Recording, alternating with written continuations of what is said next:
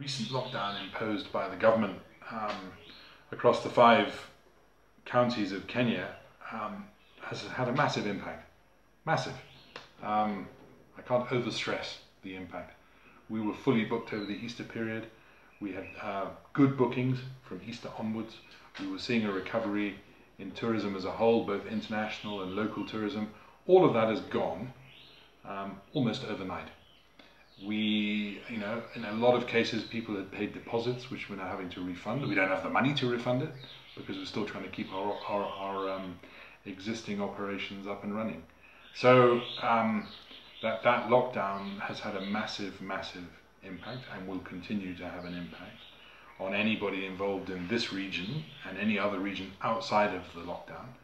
Um, uh, you know, anybody involved out in, in, in tourism um, outside of that region uh, is going to be um, is going to be impacted in a in a similar way because that region is the prime is the main source of tourism, local tourism, particularly business.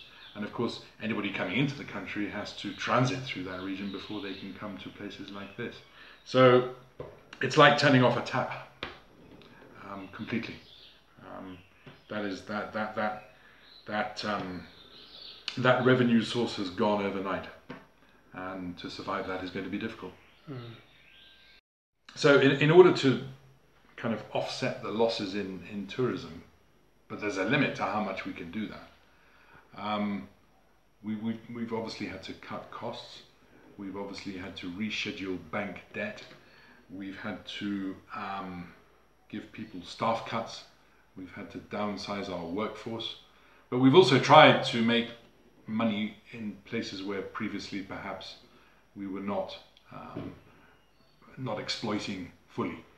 Um, we run an integrated land use system on Ol Pejeta.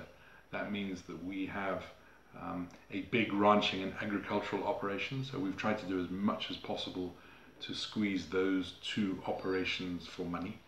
Uh, and we've also looked at fundraising, and thankfully there have been people from around the world who've helped us uh, survive this period and to, uh, to fill the shortfall in revenues that we're experiencing.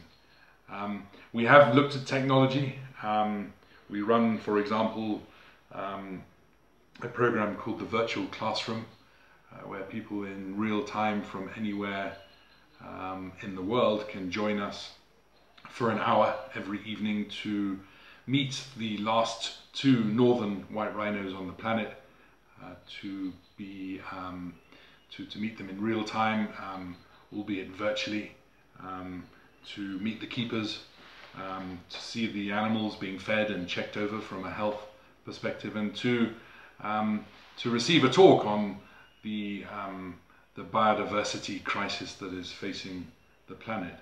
Um, and we're hoping over time to be able to monetize uh, that that opportunity. But you know, it, these things, the, the development of technology to raise money or to develop revenue streams in ways that had previously not been envisaged is not something that we are able to simply turn on just because tourism has disappeared. All conservancies and tourism operators and camp operators in Kenya are fundamentally reliant upon the tourism industry. Um, and of course we can transition over time to different ways of making money, but that will take time. Right now, what we're facing is a crisis of just unprecedented proportions.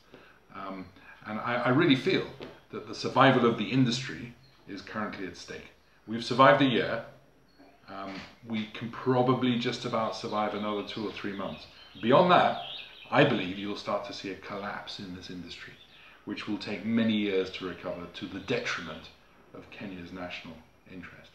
So uh, it's just an emergency.